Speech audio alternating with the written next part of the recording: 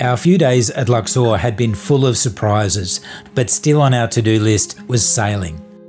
The traditional feluccas have a flat, wide deck, so we thought the access would be okay. We hadn't thought too much though about getting in and out of the boat. Hamad, our taxi driver slash fixer, arranged with his friend for a sunset sail. So, in the warm afternoon light and with a sense of adventure, we headed to Luxor's waterfront, the Corniche. There was no trouble taking the ramp down, but we soon found an unexpected but somehow typical Egyptian accessibility problem. The gateway to the jetty was blocked by a concrete slab. We managed to get some help over it, and in the meantime, our felucca was being brought to the only pier that we could find that didn't have steps down to the water.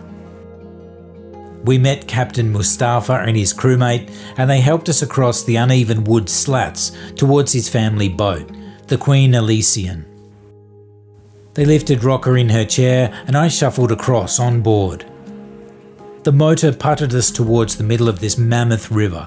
The sail was unfurled and we were sailing. We were surprised at how clear the water was as we slowly sailed south. This wasn't a luxurious catered affair, but the weather was perfect, the crew were kind and helpful, and the scenery was magical. The sun was lowering in the sky as we turned and began sailing back.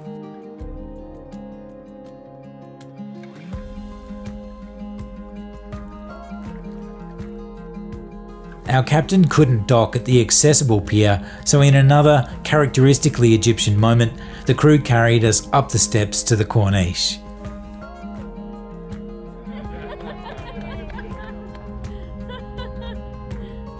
When you're travelling, a willingness to problem solve and a genuine desire to help can often overcome any lack of access.